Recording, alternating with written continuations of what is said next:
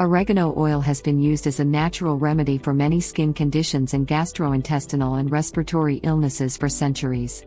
Scientific research has also found that its antiviral and antimicrobial capabilities can help in virus caused health issues. But is oregano oil good for warts? Well, warts are viral infections, and one of the oil's compounds, carvacrol, has been studied for its antiviral properties. So, oregano oil is used in many antiviral formulations.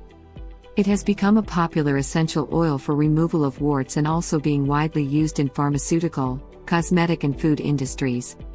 Warts can appear on any parts of the body, and many essential oils with antiviral capabilities can remove plantar, genital, and other warts from your skin. Let's explore how oregano oil helps with warts. Warts are not only ugly and unsightly growth on your body, but they can also be very painful. For example, a cluster of plantar's warts on your feet can make walking impossible. So, you must treat them as soon as they begin to form. A wart is caused by direct contact with human papillomavirus, HPV, which has more than 100 different varieties. They are contagious. Warts can be formed on your body when your immunity is low for whatever reasons. You can get rid of warts with oregano oil effectively. Oregano oil is antiviral, antibacterial and antifungal. Its main active compounds are thymol, carvacrol and terpenes. Carvacrol is the most powerful compound that carries the maximum health benefits. Oregano oil works for almost all kinds of warts. If not treated, most warts disappear in a 1 to 5 years time frame.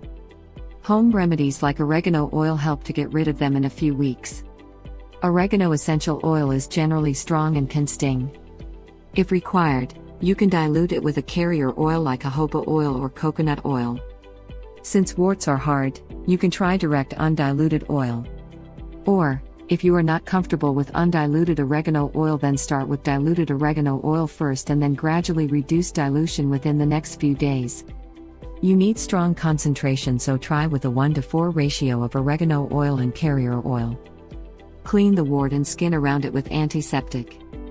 Apply undiluted or diluted oregano oil on warts with the help of a cotton ball or Q tip and leave it there. Ensure that the oil doesn't directly fall on your normal skin. Do it 3 to 4 times a day. If you start with diluted oil, then gradually reduce the dilution by reducing carrier oil.